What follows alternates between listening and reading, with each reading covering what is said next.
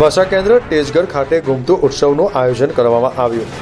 ભાષા સંસ્થા વર્ષોથી આદિવાસી અને ગુમતુ સમુદાયો માટે કાર્યો કરી રહી છે અને બારમી ઓક્ટોબર અઢારસો ઇકોતેરમાં ક્રિમિનલ ટ્રાઇબલ એક્ટ બન્યો હતો. તેના ઉપલક્ષમાં જ આજે ગુમતુ ઉત્સવનું આયોજન કરાયું હતું અને આવનાર વર્ષોમાં બારમી ઓક્ટોબરે ગુમતુ ઉત્સવ દર વર્ષે આયોજિત થનાર છે, જેમાં છોટાઉદેપુર જિલ્લાના તમામ ગુમતુ સમુદાયો સલાટ રાવળ, વાદી, વાઘરી ગટલિયા લુહાડ સમુદાયના સદસ્યો એકઠા થયા હતા અને સાંસ્કૃતિક કાર્યક્રમોનું આયોજન કર્યું હતું જેમાં રાવણ સમુદાય લોકોએ ભરખારીના કથાઓના ભજનો સાથે કાર્યક્રમની શરૂઆત કરી હતી ત્યારબાદ સંસ્થાના ડાયરેક્ટર ડોક્ટર મદન મીનાએ ગુમતું સમુદાય ઇતિહાસ અને ગુમતું ઉત્સવના ઉદ્દેશ્ય વિશે વાત કરી હતી મોહસિન સુરતીનો રિપોર્ટ ન્યૂઝ ટુડે છોટાઉદેપુર हाँ जी मेरा नाम मड्डू नायक भोपा समाज रहने वाला सवाई माधोपुर जिला गाँव रायखेड़ा, गुजरात में आए हुए हैं।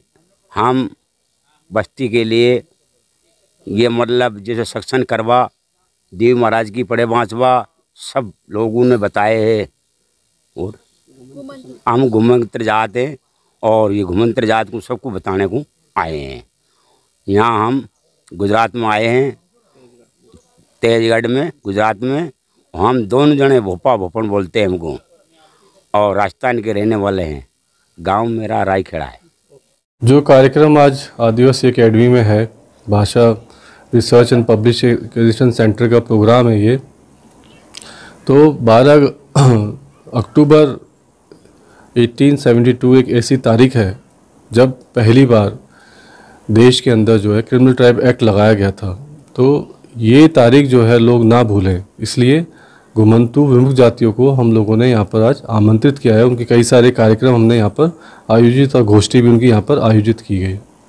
तो उसी इतिहास को याद दिलाने के लिए, जिसकी वजह से उनकी जो स्थिति आज हम वर्तमान में जो स्थिति देखते हैं, जिसमें सोशल, इकोनॉमिक, एजुकेशनल, हर पैरामीटर्स के ऊपर जो है वो सबसे नीचे पायदान पर खड़े हैं आज। उसकी वजह जो है, ये एक्ट था जो 12 अक्टूबर 1872 के अंदर, जब भारत के जो वायसरॉय थे वो लॉर्ड मेयो थे, उस समय ये एक्ट लागू किया गया था। मेरा नाम डॉक्टर मदन मीना मैं आदिवासी अकेडमी का डायरेक्टर हूँ।